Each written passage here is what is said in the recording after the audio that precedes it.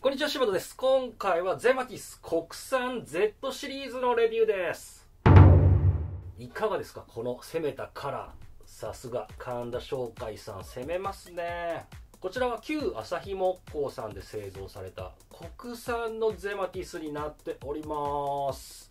これね、最初見た時に皆さんアメトーークで井戸田さんが乗ってるバイク見たことありますでしょうか？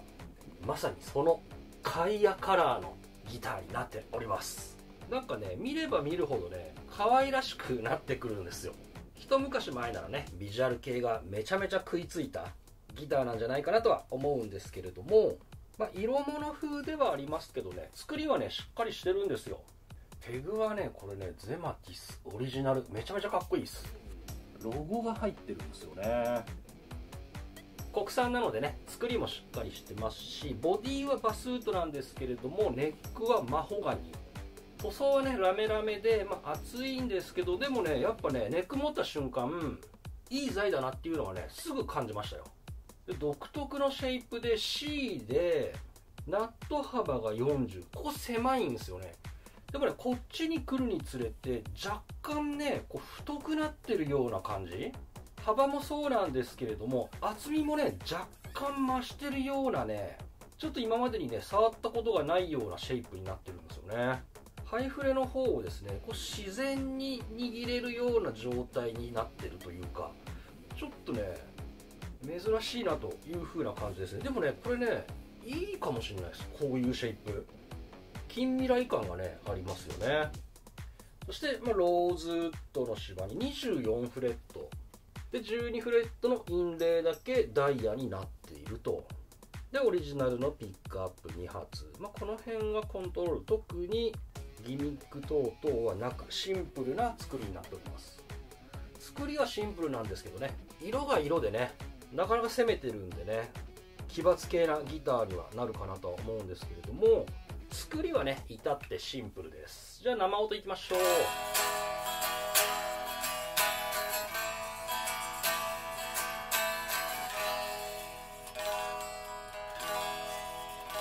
うん。しっかり重心が重い。じ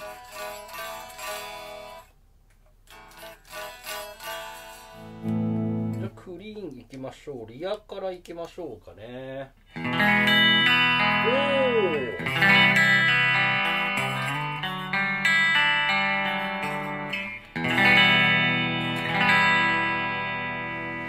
おもうちょいモコっとするのかと思いきや。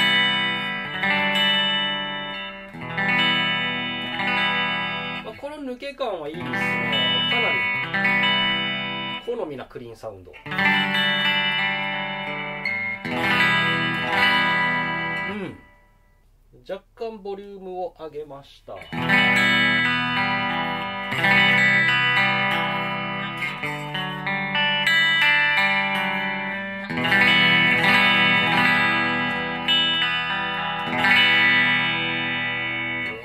キラッとしてるセンター。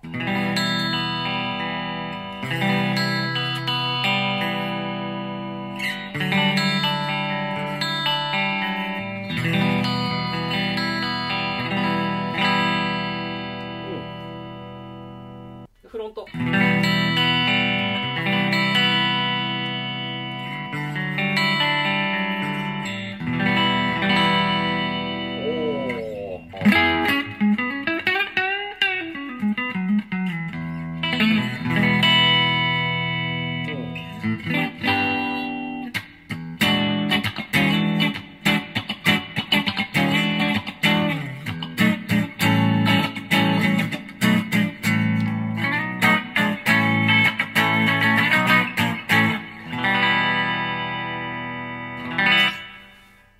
かなりねキラキラした感じのギターですね。ラメを彷彿させる。キラキラサウンドですね。ちょっと歪ませてみましょうかね。あでもしっかりねズンズン出る。これ幅広いかも。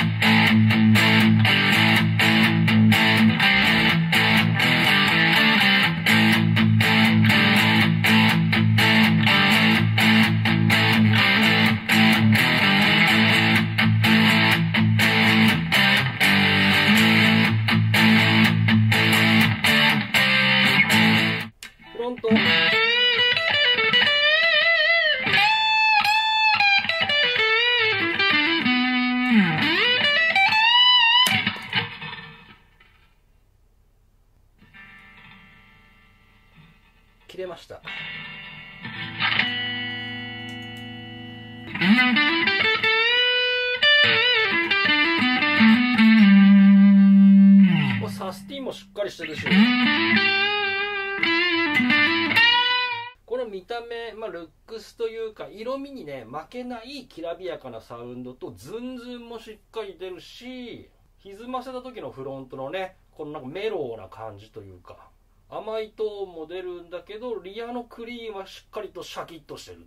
ちなみにピックアップはですね Z クラシックが2つ乗っかっております。ゼマティスの Z なのかグレコ系列の Z なのか。まあどっちなんでしょうね。かなり質はいいのでこれはね新たに開発されたものなのかな。以前ねレビューしたゼマティスとは全然違う。全然良くなってますね。というふうな感じでゼンマティス Z シリーズ国産のレビューになりました。ご視聴ありがとうございました。シーバードでした。